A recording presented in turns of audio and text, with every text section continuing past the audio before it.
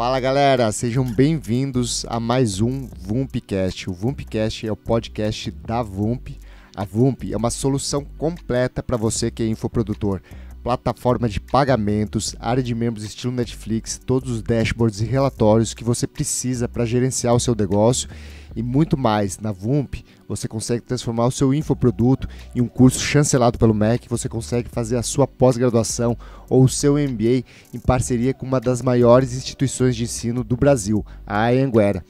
E aqui no Vumpcast a gente sempre traz convidados de muita qualidade, gente com resultado no mundo do digital, com insights para compartilhar. E hoje eu estou aqui com uma pessoa que eu admiro muito. Ela é uma super empreendedora, mãe, mulher, com um negócio de muito sucesso. Suelen Romero. Ei, Suelen, seja bem? muito bem-vinda. Obrigada. Um prazer estar aqui, podendo compartilhar, contribuir. É, venho acompanhando o crescimento de vocês. É admirável também. Então, me sinto muito honrada em estar aqui. Maravilha, a honra é nossa em ter você aqui com a gente. Suelen, a gente sempre gosta de, de começar a conversa entendendo um pouco da trajetória dos nossos convidados. Eu sei que você tem uma trajetória incrível, já passou por vários momentos diferentes aí na sua vida, vários desafios, e eu queria que você contasse um pouquinho da sua trajetória, como que você começou no digital Tá. e onde que você está hoje. Tá. É, geralmente, quando as pessoas me perguntam, ah, como você começou no digital? Falo, as histórias sempre têm um começo, meio e hoje. E geralmente eu começo contando no meio. que eu entrei no, no marketing digital oficialmente, assim, com, com esse, essa trajetória que eu tô agora, foi ali um pouquinho antes da pandemia. Eu tinha. É, eu, eu era sócia de uma, de uma empresa. Tava, aliás, fazendo o caminho para me tornar sócia, não cheguei a concretizar. Liderava um time de 40 pessoas do comercial, mais ou menos 10 pessoas do marketing, e a gente estava com aquela maquininha perfeita, de quase perfeita, de marketing e vendas. Só que o marketing começou a gerar muito lead, o, o- o comercial não dava conta, e a gente começou a precisar fazer algumas coisas, e aí, meu, deu uma super alavancada na empresa, que era uma empresa de treinamentos presenciais. Março de 2020, não sei se você Ah. notou que aconteceu uma coisa diferentona.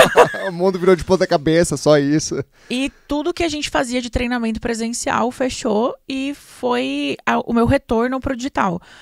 Então a gente não tinha nenhuma opção de continuar o negócio, o negócio estava descapitalizado porque tinha acabado de fazer vários investimentos. Então era um momento muito próximo com o tudo ou nada que eu percebo várias pessoas fazendo no digital. Então ou você faz dar certo ou você faz dar certo. Sim. E aí começamos uma trajetória de levar os treinamentos do presencial para o digital. Fizemos o primeiro lançamento. é, primeiro lançamento, aquela coisa da demanda reprimida Sim. tal. Então a gente fez um, um ROI 10, assim, Qual que, qual que era o nicho?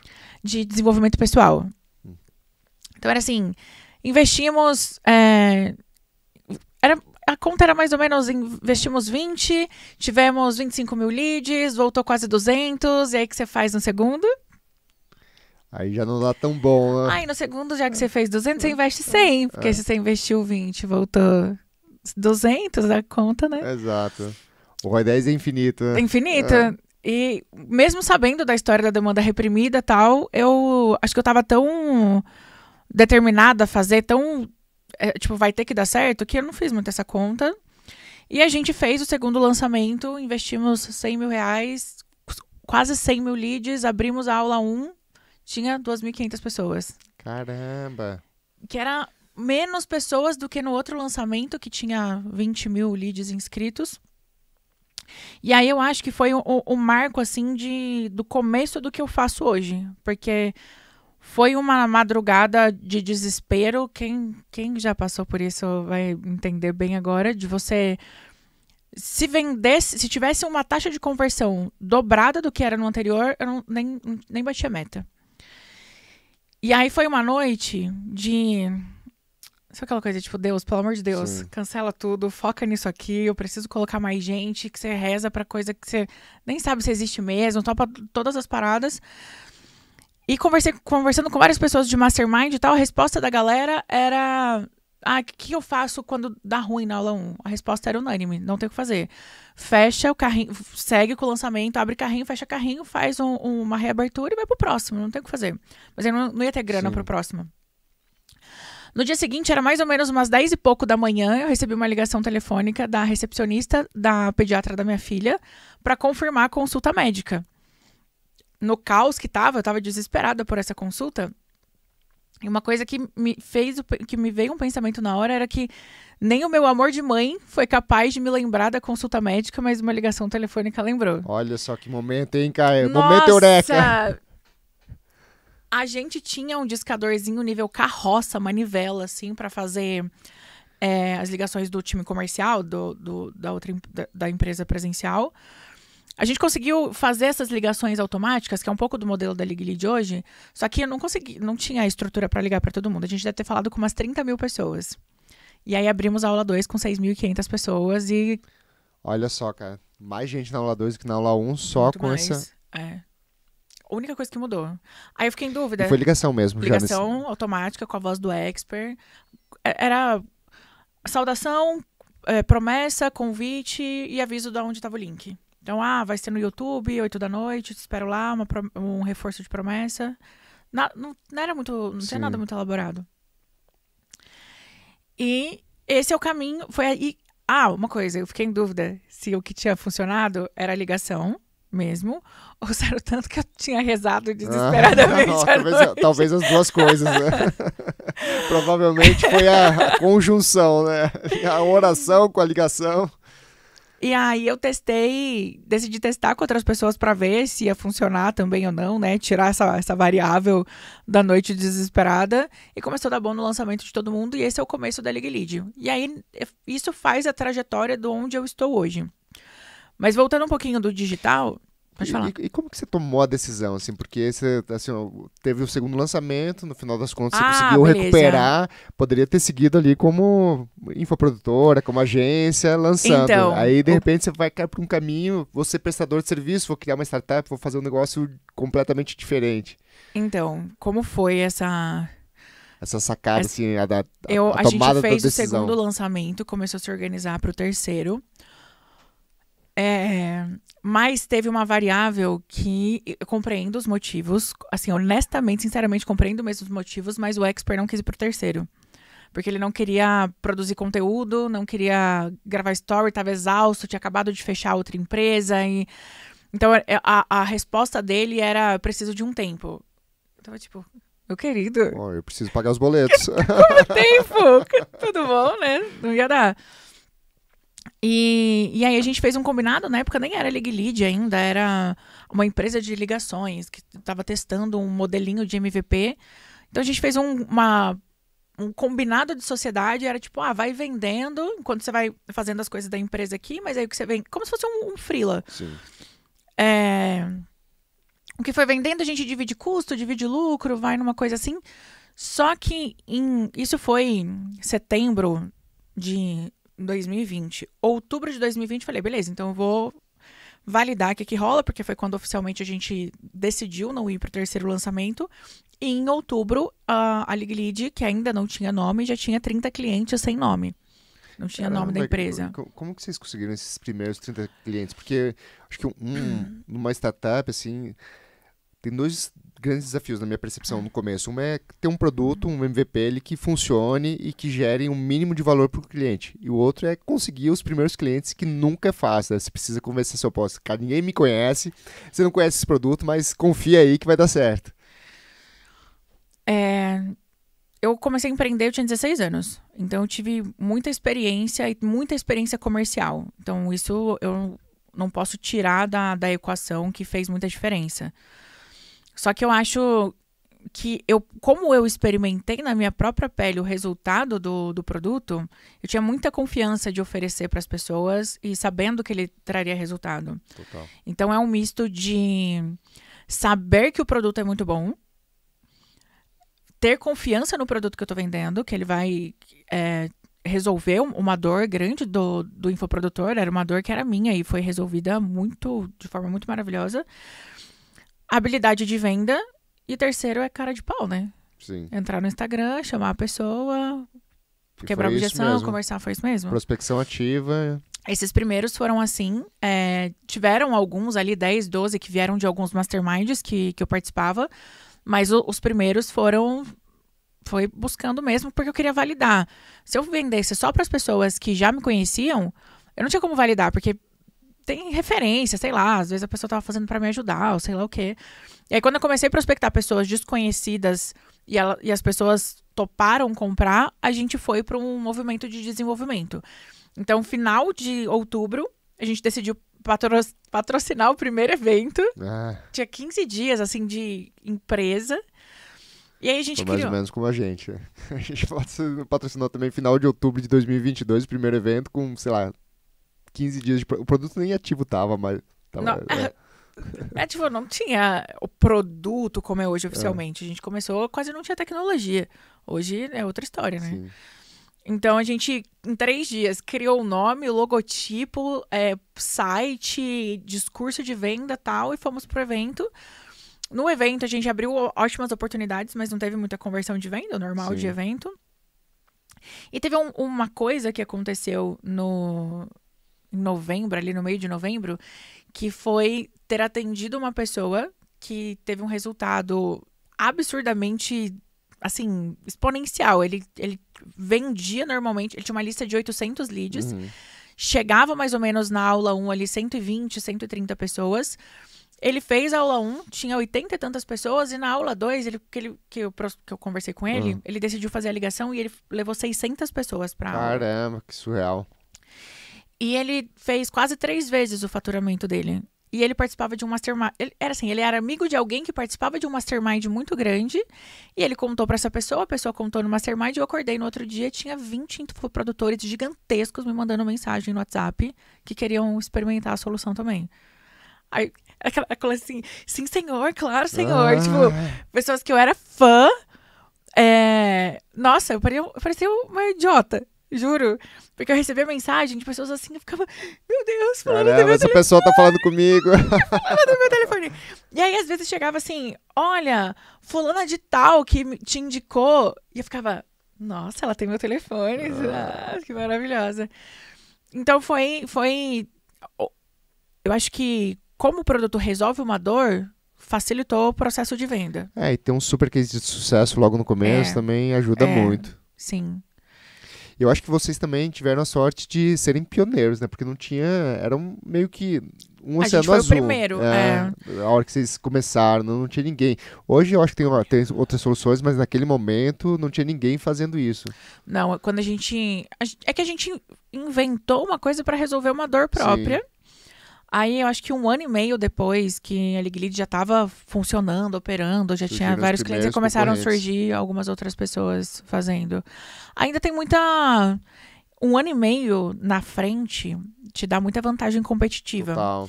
Então, por mais que existam outras soluções, eles estão no momento agora que a gente estava há um ano, um ano e tanto atrás, em relação a desenvolvimento de tecnologia, é, as variáveis que a gente coloca, consegue colocar para promover resultado. Então, hoje a gente tem uma operadora de telefonia própria, tem time de desenvolvimento próprio. É, então, a, a, velocidade e as vantagens que a gente consegue oferecer para os nossos clientes, não tem como comparar o que era há um ano e tanto atrás. Sim. Então, ser pioneiro, além de explorar um oceano azul, ainda te mantém numa vantagem competitiva por um bom tempo. Total. Se você continuar avançando, e, né? É, se avançar e também, na medida que você vai ganhando tamanho, você consegue ter mais pessoas, mais desenvolvedores, mais time comercial, mais time de marketing, que às vezes até acelera esse gap aí pro segundo, o sim, segundo lugar, né? Exatamente. Então, existem, existem sim outras soluções e eu acho, sendo muito honesta sobre concorrência, é eu acho que a gente está em um momento agora que quanto mais pessoas fazendo bem feito o que a gente, o que a gente faz, mais a gente consegue educar o mercado de forma adequada. Então, quando eu olho outros players que em, começaram no mercado por causa da League Lead, acabam modelando algumas coisas que a gente faz, mas eles fazem um trabalho bem feito, é, todo mercado aumenta, é, é muito né? positivo. É. é. muito positivo. Porque nem que se a gente. Meu, assim, se todos todos os infoprodutores me mandarem uma mensagem agora com o cartão na mão para comprar, eu não consigo atender. Sim. E nenhuma outra empresa vai conseguir. Sim. Acho que nenhuma empresa, quase de nada, conseguiria sim, atender todo o potencial de mercado. Então, quando a empresa está fazendo bem feito, é muito legal. É, porque o mercado cresce, né? As pessoas é. acreditam que a solução faz sentido. Sim. Isso é, a gente aqui no, no digital, eu, eu também participo de vários masterminds. E converso com, com muita gente que é infoprodutor, que tem produto digital, e vocês acabaram indo por um caminho de construir uma startup. É uma, uma lógica diferente. Quais são, qual que é o posicionamento da Lead Lead e o que, o que você acha, a pergunta principal, o que, que você acha que são as características de um bom empreendedor? Alguém que quer, quer montar um negócio de tecnologia, que cresce, que entrega uma boa solução. Tá. É, eu acredito que precisa ressoar dentro dessa pessoa. Eu vou tirar. Eu acho que, que é o principal. Precisa ressoar dentro da pessoa uma vontade de algo que é muito maior do que ela. É um, um desejo de uma construção de algo que às vezes não dá nem para descrever. Mas é um, mas é um, um eu não sei, você deve entender o que eu tô falando, é uma coisa uma que chama, queima, assim. Interna. É que não importa o que vai dar de problema, porque problema vai dar, não ah. importa o que vai ter de empecilho, de dificuldade, de desafio, e a pessoa tem o mesmo desejo. Então, a vontade, o desejo ardente, eu acho que é o primeiro. E o desejo ardente não seria suficiente se não tivesse um, um volume de execução constante oscilando entre picos de muita intensidade, porque tem hora que, cara, você vai ter que pegar aquele BO e você vai ter que resolver, não importa que você trabalhou 20 horas por dia, que você não voltou para casa, que você não, não, passou o final de semana, já perdi Natal, aniversário dos meus filhos, ai, me julguem. É isso, é o que tem para hoje. É... Essa é a vida dos adultos. É, é, nossa, mas e seus filhos? Cara, é. meus filhos estão vivendo maravilhosamente bem graças é. a, a, esses finais de semana Exato. que eu não estive em casa. E então oscilando de muita intensidade e momentos que você meio que abaixa um pouco o ritmo para olhar de fora, sai da, da operação, consegue entender com uma outra visão. Então não está dentro do olho do furacão. Então acho que existem muitas habilidades técnicas, existem muitas coisas que contribuem para uma área ou outra. Só que as habilidades técnicas, se você não é muito bom em alguma coisa, você contrata uma pessoa Sim. muito boa e você desenrola.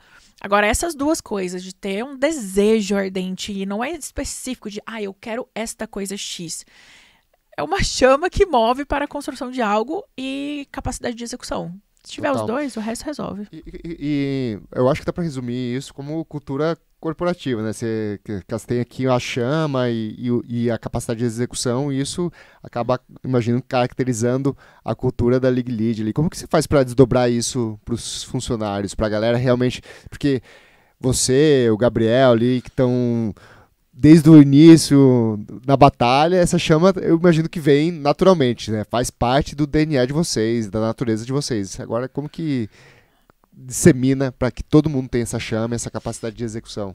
Eu acho que a gente está no melhor momento de time nesse sentido e eu me sinto muito orgulhosa de falar do time que a gente está construindo. Acho que é a coisa que eu mais que eu mais gosto de falar é bem das pessoas que trabalham comigo, quando as pessoas são boas mesmo. Então tá, a gente está num momento muito legal a gente teve muita dificuldade de construir esse modelo de cultura com as pessoas engajadas, que, que a gente percebe que tem um pouquinho dessa chama dentro delas também. É, então a gente apanhou bastante nesses quatro, quase quatro anos e eu acho que a gente encontrou um, um, uma coisa que está funcionando muito bem. Que eu, até, eu vou até contar um, uma fala de uma pessoa esses dias, mas eu acho que quando você trabalha com pessoas e a gente traduziu isso é, olhando um pouco para fora também para trazer referências, mas quando você trabalha com colegas impressionantes, o desejo de estar junto, de construir, de aprender. Total. Não. Esse é um, um ambiente que as pessoas querem fazer as coisas acontecerem. Mas a gente hoje está em quase 60 pessoas e o escritório é presencial. Então, as pessoas estão todas no escritório. Imagina você conviver diariamente com 60 pessoas foda. 60 pessoas que a cada duas palavras que você troca com ela, você aprende alguma coisa. Que você. Sabe que você tá ouvindo uma conversa ali enquanto você almoça, você vê, ouve da mesa do lado a pessoa almoçando, é uma conversa inteligente, pessoa. Sabe? Pelo amor de Deus. É, é, é um, um ambiente que. Eu acho que cria isso nas pessoas, porque elas são estimuladas o tempo todo a se desenvolver. Agora também não adianta colocar uma pessoa meio morna, assim, que não tá afim de muita coisa, na, no meio dessas pessoas que não vai rolar. É, o próprio ambiente acaba expurgando essa pessoa. E aí tem essas questões de processo seletivo, o período de experiência para contratação. Então a gente olha muito isso, a gente não, não efetiva pessoa que não demonstra que tá com muita vontade. Então, habilidade técnica a gente treina, cultura a gente treina, agora faltou vontade. E como que vocês identificam isso no processo seletivo? Ah, o processo seletivo a gente ainda não tem um modelo muito adequado, assim, que como eu gostaria. Só que o que mais dá dimensão disso pra gente é o teste técnico. Então, todo mundo que é contratado pela League Lead passa por, um, uhum. uma entrevista com o RH, faz um teste técnico e depois uma entrevista com o líder. Sim. O teste técnico é uma atividade que a pessoa faria no dia a dia, ela precisa entregar, ela tem um prazo, é, não um prazo muito confortável, um prazo meio curtinho. E um nível de. Assim, cara, me fala tudo que você precisa para você entregar o seu melhor. Você precisa de ferramentas, você precisa de subsídio, você... o que, que você precisa? Tudo que a pessoa precisa, a gente oferece. Aí a gente cons consegue ver. Uhum. Mas o que a gente recebe é: ai, você pode me dar mais um dia? Ai, então, olha, eu não fiz até o final, porque. Ai, ah, você já viu que assim, a vontade da pessoa. Se, se, no processo seletivo ela já não tá dando sangue, imagina depois que entrar. Exatamente. E a regra é. Todos os líderes só aprovam no processo seletivo uma pessoa que ela teve a sensação de ser tipo um espetáculo. Hum. Que ela fala, caramba, meu Deus, eu preciso dessa pessoa no meu time. Se não tem essa sensação, não não traz. Porque a entrevista, a gente nem tá vendo o que a pessoa é capaz de entregar mesmo. Ela tá dizendo sobre o que ela faz. E se dizendo sobre o que ela faz, ela não é um espetáculo, não. Eu não tô falando de oratória. Sim. Mas é, descrevendo as habilidades técnicas é médio, Sim. na hora que você colocar lá, não vai rolar. Sim. Então tem critérios nesse sentido. Legal demais. Isso, Ellen, você é uma mulher super bem sucedida, CEO, faz o papel de expert, é a cara da League Lead, equilibra vários pratinhos, mãe de dois filhos. Como, como que é ser uma liderança feminina nesse mundo das startups e até no mundo digital, que a gente sabe que ainda é muito masculino? Tem, tem dois pontos, assim, que dois, dois opostos do mesmo espectro. Então tem um, um oposto extremo, que é um desafio muito grande, porque é nítido, apesar de algumas pessoas não deixarem claro, mas é bem perceptível que não existe espaço para mim em algumas rodas, não existe espaço de contribuição, não existe espaço de palco. É, então, o, tem um extremo que ele é, é, bem desafiador, porque são muitas portas fechadas pelo simples fato de ser mulher. Então, às vezes, eu tô. Eu e o Gabi. Uh, eu noto algumas pessoas me excluindo da conversa, como, ah, tipo, não tem Sim. nada para acrescentar. Então, esse é um, um extremo. O outro extremo é apesar de todos os desafios, que eles não são todos os dias, o tempo todo, eu tô falando de, um, de, uma situação extrema, então disso até chegar no outro polo tem muitas variáveis. Mas o outro extremo, que para mim é poder quase que poder mostrar também para outras mulheres que apesar de existir esse extremo, existir o meio do caminho, existir uma série de variáveis que deixam a situação mais complexa para as mulheres, ainda assim dá.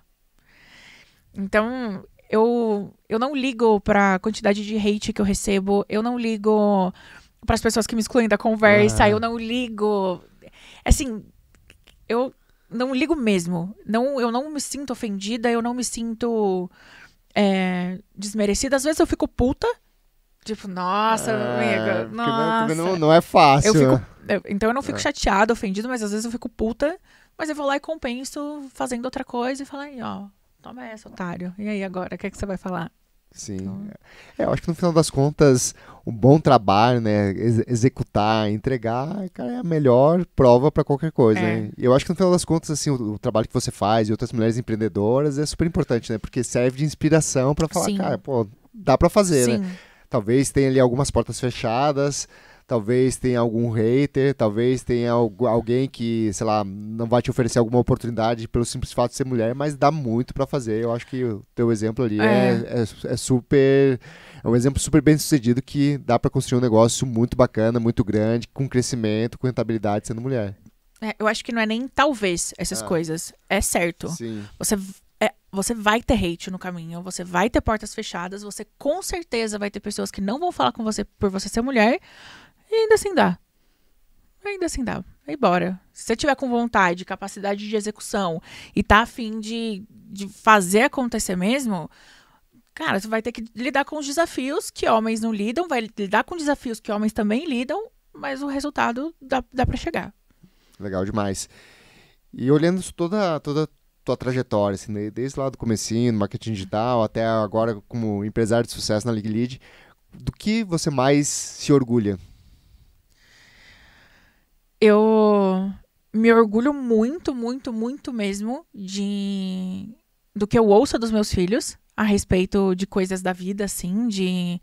Então, eu tenho uma filha de 12 anos e eu sei que as falas dela, comparada com a fala das amigas ou de outras pessoas, é de uma menina bem mais segura, Sim. porque vê que dá para fazer as coisas. Então, me sinto muito orgulhosa de poder ser um espelho para ela. Me sinto muito orgulhosa de poder ver os dois ali querendo coisas grandiosas e tal. Então isso, nossa. Nossa, isso aí é sensacional, Ai, né? Faz... Nossa. é a sensação de missão cumprida. Meu Deus.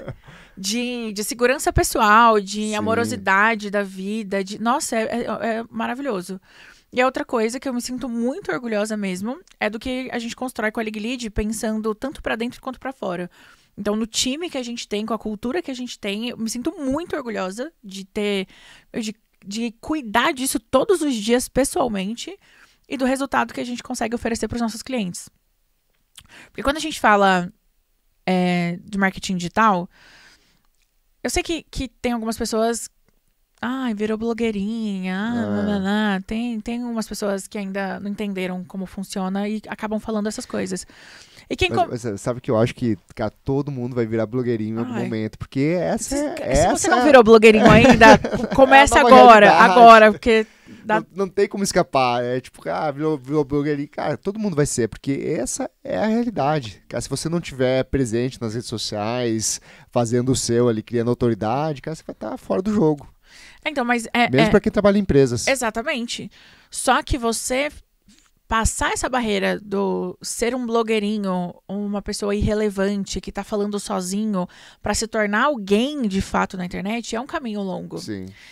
Então você precisa lidar com barreiras suas de vergonha, de as pessoas próximas, amigo, família, e aí começam os primeiros haters, e aí você coloca a grana do seu bolso para fazer. Então tem um longo caminho aí que não são sete dias. Não, é. não são sete dias.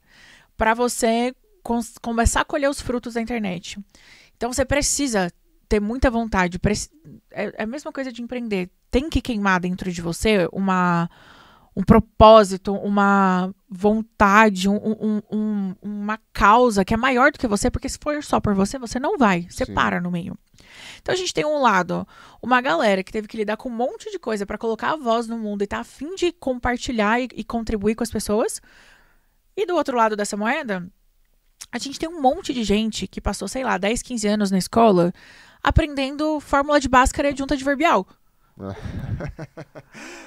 não sabe como se alimenta, não sabe como se relaciona, como faz dinheiro, como não sabe. Cara, vai... É muito louco isso, né? Porque, cara, a escola, eu acho, é óbvio, eu tô no negócio de educação e é super defesa e muda a vida de pessoas, mas tem umas coisas que são completamente ultrapassadas.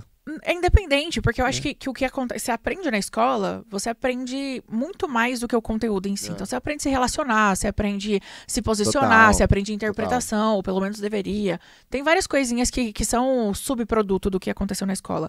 Mas de conteúdo prático, você sai da escola, você não sabe mandar um currículo, você nem sabe Sim. o que é currículo. Tipo, imposto de renda. O que é imposto de renda quando você sai da é. escola? Que você tem que fazer, mas quem que vai falar? Você não sabe como falar, você não... E para uma pessoa sair desse cenário de quase disfuncional como adulto, para conseguir construir coisas legais na vida, a base é a educação. Não, não tem outro caminho. É, ai, ganhou na Mega Sena. Vai gastar tudo. Não, não, você não consegue Sim. sair de onde você tá, de um ponto que você tá, para ir para um lugar melhor sem educação. Total. E o que me deixa muito orgulhosa é que a League Lead é o ponto de contato dessas duas pessoas. Então tem uma galera produzindo conteúdo para mudar a vida das pessoas. Do outro lado tem uma galera querendo desesperada, sedenta por mudança de vida, e a gente consegue conectar os dois pontos. Então o que a gente fala muito dentro da League Lead é que não é uma ligação atendida, é, um, é uma semente de mudança de vida através da educação sendo entregue. Total. Você está tá dando a oportunidade da pessoa assistir uma live ou assistir um conteúdo que pode mudar a vida exatamente, dela. Exatamente, exatamente. E eu só. Tá relem... No final do dia, você está relembrando, ou está lembrando ela, que aquilo é importante. Sim. É porque a gente é engolido, né, pela rotina do, do, dia a dia. Você olhou. Qual foi, por exemplo, qual foi o último anúncio que você viu no seu Instagram? Ah, sei lá, cara. Todo dia é, é tanto anúncio que, que você acaba não, não memorizando, né? Não Exata gravando. É, porque, exatamente. Cara, virou um negócio tipo anúncio de TV. Que, sei lá, de vez em quando você vê um anúncio memorável, que é alguma coisa realmente muito diferente. Mas na média, cara, passa lá, você tem que prestar atenção. Ou pior, Google Ads, que é, aí é uma cegueira, cegueira seletiva. Né? Tá lá, é. mas você nem, nem viu que tá. Né? E então, mesmo você tendo interesse, tipo, ah, desses memoráveis, dois, três dias depois você não lembra Exato. mais. Você já foi engolido de volta pela, pela, rotina, pela dopamina saindo do celular. É, é, muita coisa ocupando os seus espaços mentais disponíveis. E se você não tiver um esforço ativo de manter a atenção da pessoa, reter a atenção da pessoa em relação ao que você está comunicando para ela, é quase que morrer na praia. Então é, é, muito comum a gente ver infoprodutores que abrem a aula 1, tem 7, 8% das pessoas que se cadastraram que presentes. Bizarro, né? Que é surreal. Você tá, tá, deixando muito dinheiro na mesa. Não é só isso, é, é tipo, é tudo. É, o dinheiro, é, o propósito, é... Cadê esses 92%? Eles Sim. se cadastraram, eles toparam. Sim. A gente não tá falando das pessoas que viram o anúncio de alcance, de, de é, pessoas que viram a página, pessoas que passaram por todo o seu fluxo e toparam se cadastrar para participar. E 8% tá presente, tem alguma coisa muito errada. Sim. E aí a gente vendo a, a, quando a pessoa começa a fazer esse, essa blindagem de atenção, de, de reter a atenção da pessoa e ter na, na aula um 30, 40%, aí a gente vê que são poucos ajustes para você levar sua mensagem mais longe. Total, total. E eu acho que no final das contas, cara, isso que vocês fazem tem um valor gigantesco né, na, na vida do infoprodutor, porque é o que faz a diferença no resultado dele. Com certeza. Às vezes é um ajuste fino ali para trazer, cara, de sair de 8 para 30% é surreal. É. E, como, como, que é a, a tua rotina? Assim, você acaba equilibrando vários pratinhos, é, faz esse papel de especialista, faz também o papel de ser a líder do business, ali dando o direcionamento estratégico, estando no dia a dia na, na, na operação. Como que você consegue como que você se organiza para equilibrar todos os pratinhos? Tá. Não equilíbrio. Ah. não assim. equilíbrio. Eu não vou pagar de. de super ah, eficiente, super, é, não equilíbrio. Guru, guru de gestão. Não. É, eu, eu e o Gabi, a gente tem alguns combinados de desequilíbrio. Então, é um desequilíbrio ordenado, digamos assim, mas é um desequilíbrio. Sim. Então, tem alguns momentos que a League exige mais de mim, porque a gente está a gente está dando alguns passos agora de internacionalização, está trazendo novos produtos, então a gente está fazendo é uma coisa que é, exige foco. Então, nessa sprint, esses 15 dias ou esses 30 dias, depende do que a gente combinou, criançada é por conta dele. Eu não uhum. sei se jantou, eu não sei se tomou banho, eu não sei se levou atividade da escola, se tinha maquete para fazer, eu não faço a menor ideia. O que eu eu me comprometo a fazer todos os dias ter um momento com eles. Sim. Então, antes de dormir, a gente tem a boa e velha conversa, que são os quatro conversando sobre os assuntos do dia. Neste momento eu estou. Todo o restante da responsabilidade não é minha. E para ele também. Às vezes ele tem, ele vai para os eventos, Sim, ele faz as coisas. Nesse momento papel. ele não tem que esquentar a cabeça com, com outras coisas. E, e, aí a gente vai nessa. Ah, então vocês, seu e seu marido ficam oscilando sobre o trabalho e quando que sobra tempo para os filhos? Aí a gente desequilibra para a família às vezes também. Sim. Então ano passado a gente passou 60 dias com o WhatsApp desligado, fazendo um tour pela Europa de motorhome. Que o que pega fogo na empresa tem liderança para resolver. Essa é a maravilha isso. de ter uma empresa estruturada, né, cara? Você consegue se dar o luxo de sair 60 dias, cara, e o mundo não acaba. E não acaba. E se tivesse acabado também, eu voltava, reconstruía, ah. mas a prioridade naquele momento era a família. Então não é equilíbrio. Agora, como é, é rotina, pensando no todo, eu tenho eu, eu não consigo alcançar mais todas as coisas que eu gostaria de fazer. Então, dentro da League Lead, dentro da minha casa, dentro do meu relacionamento, as coisas vão ficando muito distantes para eu resolver duas coisas pelo tamanho da empresa. Então, eu preciso ter excelentes líderes, preciso confiar nos meus líderes, e isso, graças a Deus, está muito bem organizado. E eu preciso escolher quais são as coisas que de fato eu quero fazer. Então, o que é prioridade? Tem projetos na League Lead que eu adoraria participar, mas não tem, não tem é, como. Porque exato. tem o um outro mais importante. Ele é bem menos legal, bem menos legal, bem menos motivador, assim, inspirador, mas é o que precisa de mim. E aí, às vezes, eu não consigo fazer participar de nada, porque neste dia específico, a Lara teve um problema com uma amiga da escola, ela tá super chateada e eu vou tirar a tarde inteira para conversar com ela. Então, eu preciso fazer escolhas. E é, é assim que vai organizando. No final do dia, liderança é isso, né? Você preparar pessoas para que elas consigam tomar decisão por conta própria, dado um, de, um determinado direcionamento e fazer as escolhas certas. É. é. Mas não me equilibra. Não tem, não.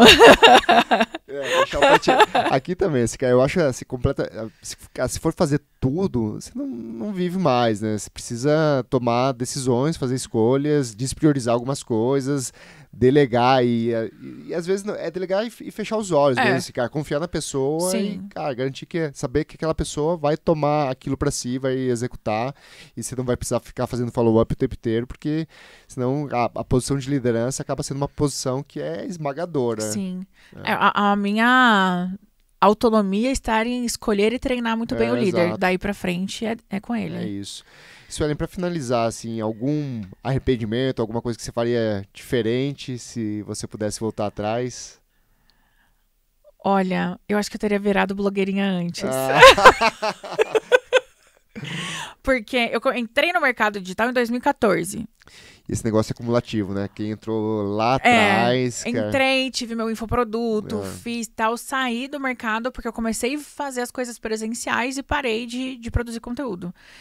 Então agora eu, eu, retomei faz pouquíssimos meses. Ah, isso é uma outra coisa de equilibrar os pratinhos. Eu adoraria produzir conteúdos super elaborados. Eu vejo a galera, aqueles reels que vem ah. do ângulo diferente e tal. Eu não consigo. Eu tenho ah. só caixinha de pergunta. Eu, é só caixinha de pergunta. Exato. Grava rapidinho, posta. Ah. E, então escolheu o mínimo que dá. Então, estou encaixando uma produção de conteúdo no meio da, da minha rotina. Tem dias que eu não quero fazer. Tem dias que, nossa, eu, eu gostaria que acontecesse qualquer coisa, assim, de tipo, ai, não, pra não precisar gravar. É fazer mas eu faço. não é simples, né? Você quer se pensar no roteiro, se pensar na edição, cara, se Eu não tô editando. Tempo, é. é caixinha de pergunta. Ah. Então é o modelinho abro a caixinha de perguntas, as pessoas vão perguntando, eu respondo, já posto, não edito nada, nem olho, nem assisto de novo para ver se tem que corrigir, porque se eu quiser corrigir não, vou, não vai dar tempo. Então é, teria feito da, isso antes. Então, da, das contas é isso, fazer o que funciona. Eu acho que o fazer antes, você, cara, no final, no final você faz quando dá para fazer é. e nunca é tarde para começar, mas fazer antes realmente faz uma diferença porque é muito cumulativo, né? Quanto mais tempo Sim. você tá fazendo uma, uma, principalmente isso, né? Comunicação e produção de, de, conteúdo na internet, quanto mais tempo, mais autoridade, mais experiência, mais capa capacidade de conectar com o público. Sim. Ó, se você não virou blogueirinha ainda, é. começa hoje, porque daqui dois, três anos você vai se arrepender de não ter feito agora. Cara, eu acho que todo. Eu acredito muito nisso. Eu acho que todo mundo vai precisar produzir conteúdo na internet. A gente já tá vendo esse movimento, assim, até em outras redes sociais que não são muito do digital, por exemplo, no LinkedIn. Eu tenho uma presença lá relevante no LinkedIn também. Cara, tá todo mundo produzindo conteúdo, porque você precisa, mesmo se você trabalha numa empresa como CLT, precisa se posicionar. Sim. E vai ficando cada vez mais difícil. Exato. Também. Porque pensa antes qual era a concorrência de um vídeo de qualquer coisa que você ia fazer. Agora tem 80 pessoas fazendo exatamente o mesmo vídeo, com a mesma música, o mesmo movimento, tudo igual. Como... É, exato. Mas eu acho que tem muito espaço para se diferenciar. Sim, você sim. consegue, esse, cara, se você cara, conseguir identificar no que você é bom e Colocar ter a coragem dó... de ser, ser autêntico. autêntico. que não é tão simples, é. dá muito certo. É. Eu tô enfrentando essa coragem de ser autêntica. Você abre os meus vídeos, tem eu vejo pouquíssimas que você views. umas polêmicazinhas ali. É, né? é. Muito, tem, ainda tem poucas views, mas tem comentário, é tipo sempre 500, 700, 800 comentário, 90% hate, e é isso, bora. Mas o engajamento lá em cima. É. Legal demais. Suelen, super obrigado aí pela participação. Pessoal que está acompanhando aí, se você gostou, já deixa o seu like, já se inscreve no arroba Oficial, se inscreve também no nosso canal do YouTube e fica ligado, porque no Instagram e no YouTube a gente sempre publica os melhores cortes das entrevistas aqui dos podcasts, com muita informação, muito insight bacana. Valeu demais, até a próxima. Obrigada, tchau.